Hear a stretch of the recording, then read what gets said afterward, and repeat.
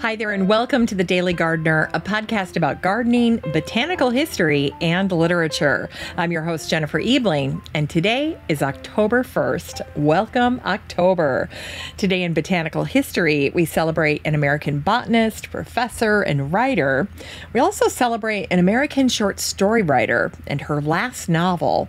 And we also recognize an amateur botanist who was honored with the Australian Native Plants Award. We'll hear an excerpt from Neil Gaiman's book, Season of Mists. And we grow that garden library today with a master book on wreaths. Just fantastic. And then we'll wrap things up with a garden classic that came out on this day back in 2013. It's one of my favorite books. And I know I say that all the time, but I do have a number of favorites. So there you go. Is there a limit? I don't think so. Not if you love garden books. I hope you're nodding your head. All right, it's time for today's curated news.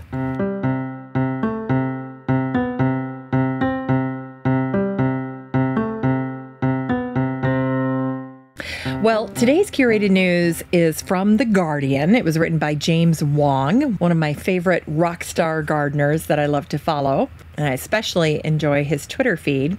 In any case, this is an article that he wrote, and it's called how your electric toothbrush can aid pollination. No joke. And actually, if you think about it, it makes complete sense. James writes Many plants in the nightshade family, from tomatoes and chilies to peppers and eggplants, rely on what is known as buzz pollination. This is the process by which the rapid ultrasonic vibrations emitted by species like bumblebees and apparently like electric toothbrushes release pollen grains, which are otherwise tightly held in the anthers of flowers. Now, of course, if you're in an area where there just are not enough pollinators around, then you need to hand pollinate. Now, James points out that traditionally horticulturists have used a tuning fork because that mimics the high frequency vibrations of the bees and that tricks the plant into releasing its pollen. But apparently, an electric toothbrush really does the trick.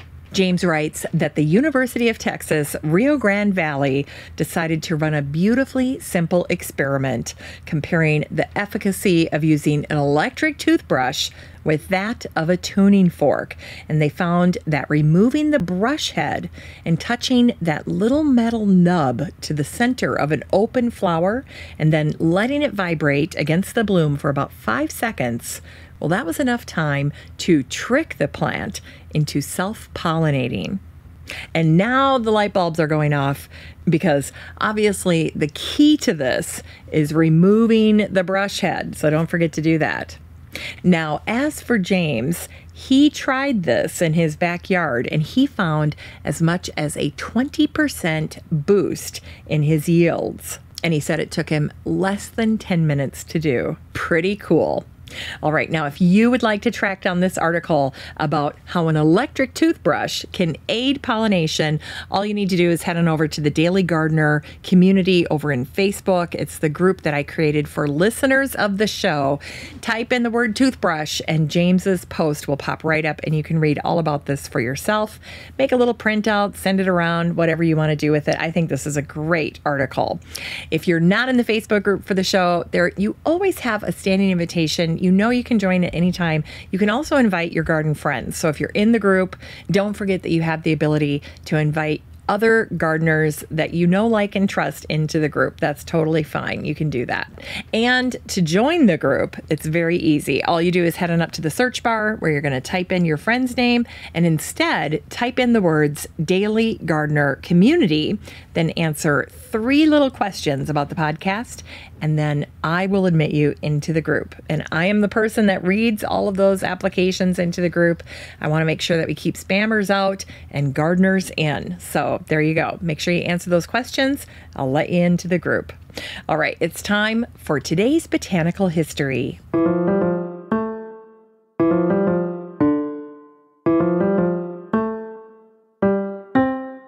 Here's botanical history for today, October 1st. Today is the birthday of LeRoy Abrams. He was born on this day, October 1st, in 1874. He was an American botanist, professor, and writer. And he was born in the little town of Sheffield, Iowa, before he moved west with his parents as a small boy. As a graduate student, he botanized around Los Angeles, not exactly an area that you would think of for botanizing, but that's exactly what he did.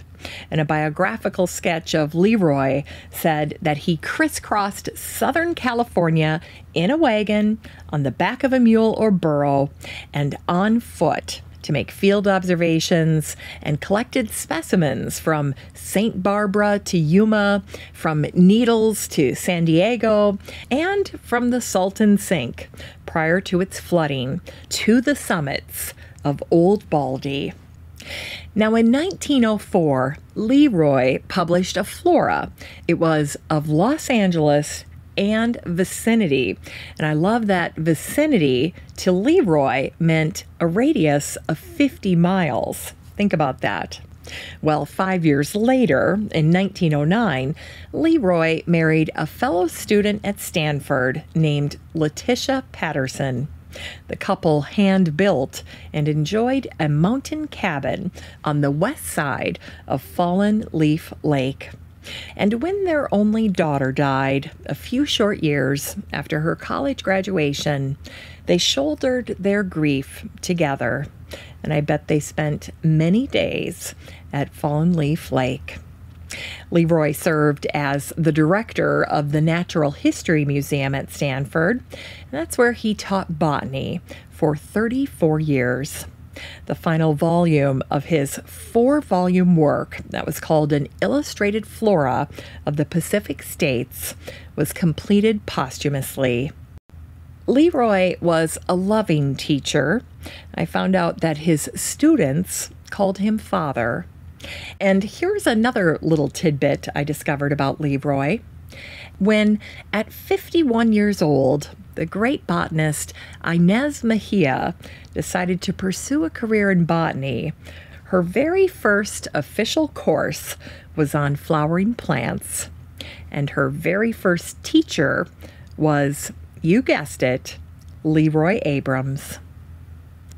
And it was on this day in 1972 that the Tampa Tribune profiled the American short story writer Eudora Welty, and they shared some backstory on what would be her last book. Here's what the article said.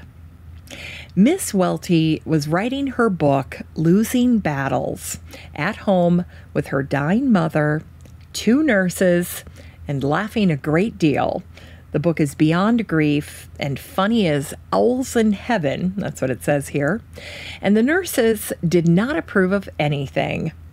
And right in the middle of it, the nematodes did in the roses, which had been packed in that garden tight as a trunk, but nothing that could be tried availed at all.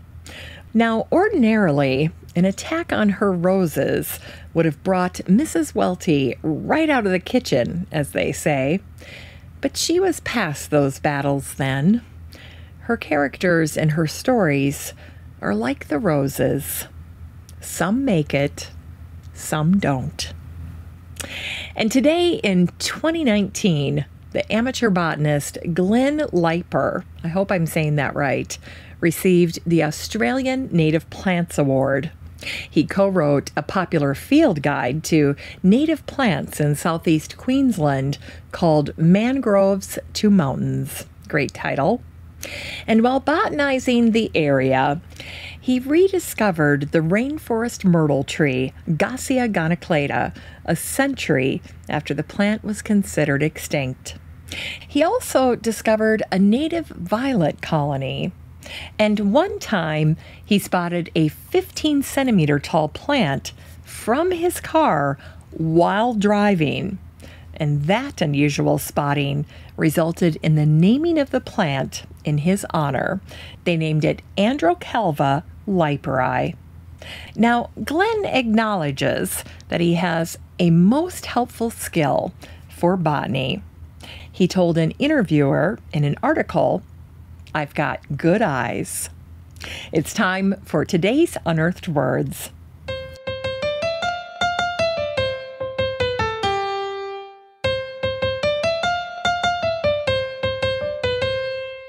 Today's unearthed words come to us from Neil Gaiman.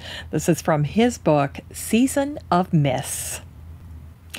October knew, of course, that the action of turning a page, of ending a chapter, or of shutting a book did not end a tale. Having admitted that, he would also avow that happy endings were never difficult to find. It is simply a matter, he explained to April, of finding a sunny place in a garden where the light is golden and the grass is soft, somewhere to rest, to stop reading, and to be content.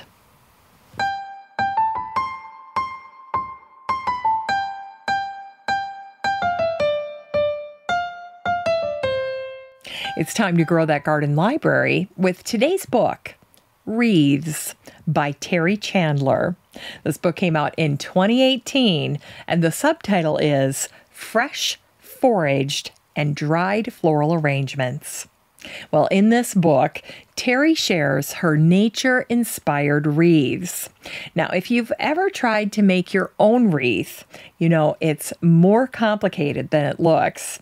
Terri breaks down the fine art of creative wreath making, playing with color, texture, natural elements. By the way, her foraging is spot on, and how to use them. If you thought wreaths were just for the front door, Terri will dispel that and show you how to integrate them into your home to dress up unexpected areas like chairs, centerpieces, and even a stack of books. This book is 144 pages of wreath goodness, good ideas, good uses, and excellent form. You can get a copy of Wreaths by Terri Chandler and support the show using the Amazon link in today's show notes for around $3. Now that's a steal.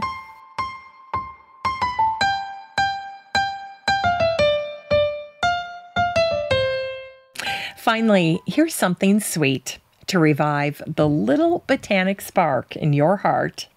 It was on this day, back in 2013, that the book Braiding Sweetgrass by Robin Wall Kimmerer was released.